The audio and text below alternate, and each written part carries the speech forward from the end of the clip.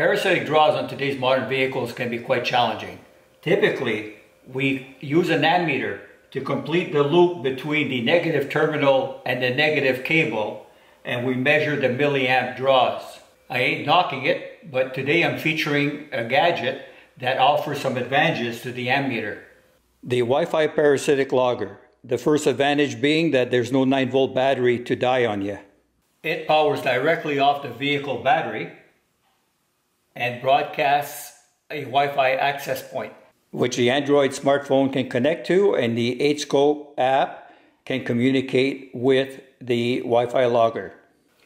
Of course, as with the ammeter, the circuit has to be completed between the negative terminal and the battery cable. And that will be done with this alligator clip. Now, the initial draw here might be beyond the 5 amp fuse. So we make contact, courtesy lights, other relays might have kicked in, and the initial surge uh, will be taken up. We then connect our alligator clip and remove the cable. And our app is measuring the milliamps that are being drawn. I'm going to start the logger. The buffer on this is very large. You can go for up to 240 hours if you wish. We can put the phone to sleep and the logging continues as long as you're still within Wi-Fi connection. And how far is that, you ask? Well, I've got a 60 foot driveway. The vehicle could be parked anywhere out there and I could be in here and there's one wall between us and we still be within Wi-Fi reach. Now some of these vehicles can take a long time to go to sleep and we could just go out and do some other things in the meantime and the logging will continue on. The second advantage that this has over the ammeter is that when we come back, not only will we know the measurement at that time, but we will have a log of everything that transpired in that period while we were away.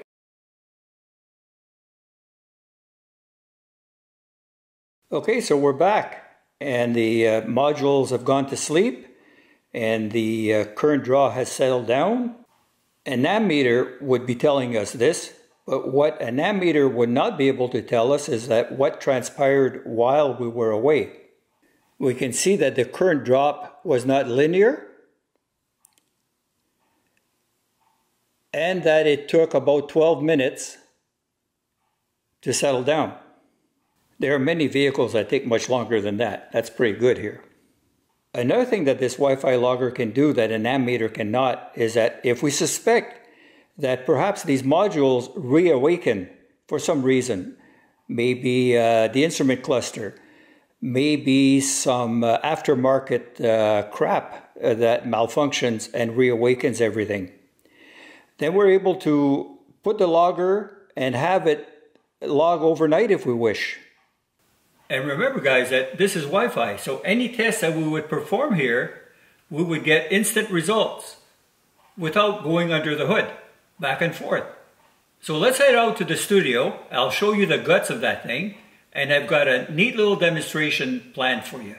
This project is based on an HS402 Pro oscilloscope circuit. I've used the PCB 2.0 here, and I've provided Wi-Fi through this 30 pin ESP32 WROOM Development Board, a PCB 3.0 build as outlined in gadgets number 160 would fit in this housing. There's nothing really special about the housing itself.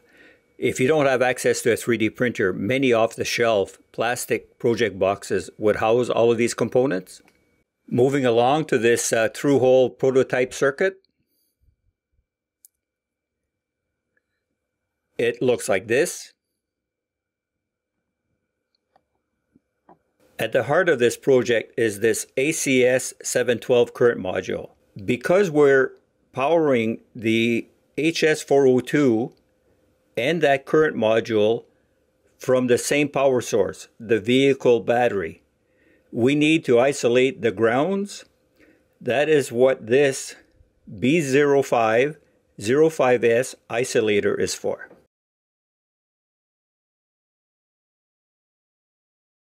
I want to bring your attention to this 5 amp inline fuse and that it was placed on the negative battery clamp intentionally. And next, I'd like to demonstrate the accuracy of the Wi-Fi parasitic logger.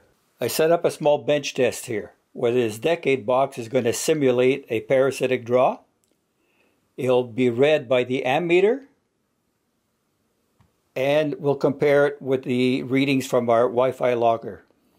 Let's start with 100 ohms, 1 times 100. And we're going to plug in the ammeter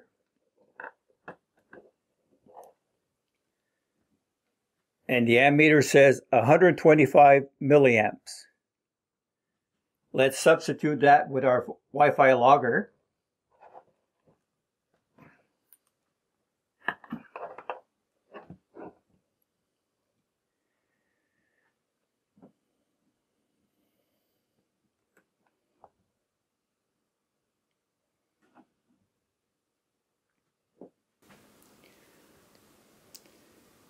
We get 121, 122 milliamps.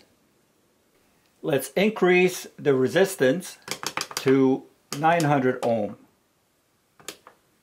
9 times 100. Our ammeter is reading 13 milliamps.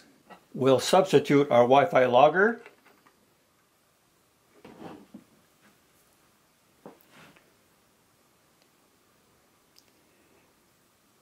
and it's reading between roughly 13 milliamps. We're going to increase our resistance to 2 kilo ohm. 2 times 1000. Our ammeter is reading 5 milliamps. Can our Wi-Fi logger read and coincide with the ammeter at that low level? We'll substitute.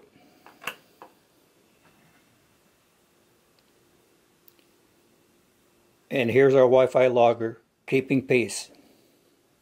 This level of accuracy was attained by the low noise characteristics of the HS402 circuit, by the probe settings in the HScope database for the ACS712 module, and by the auto calibration feature of HScope to start us off at a zero milliamp. So it's accurate and it's portable due to being Wi-Fi and it has long duration logging capabilities and it's a fun and educational build. All files and build details shared in the video description. Subscribe and like and we'll talk to you guys soon.